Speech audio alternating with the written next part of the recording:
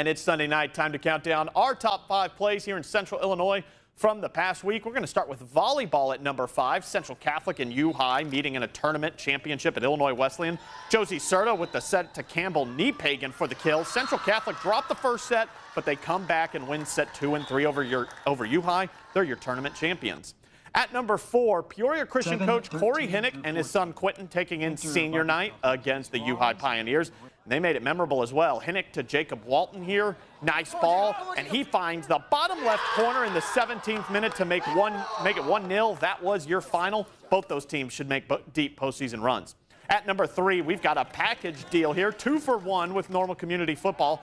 How about back-to-back -back pick sixes? This pass intercepted by senior Jace Wilson against Danville, and he is gone down the sidelines. That defense wasn't nearly done dominating either.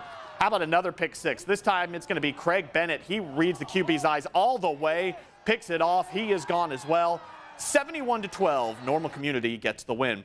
Number two, the boys 2A golf sectional this past Monday. East Peoria's Connor Watson, man, he had an incredible day. He was the medalist shooting a 66, the only sub 70 in the tournament. He would win by five strokes. His teammate Nicholas Unis also clinching a state tournament berth.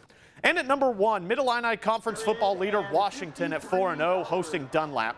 This was the final play of the first half. How about the junior kicker, Devin Miller, setting up from 52 yards out. Good snap, good hold, and he nails it comfortably. That is a school record for the Panthers. Congrats to the young man. Washington goes on to get the win 31 to 10.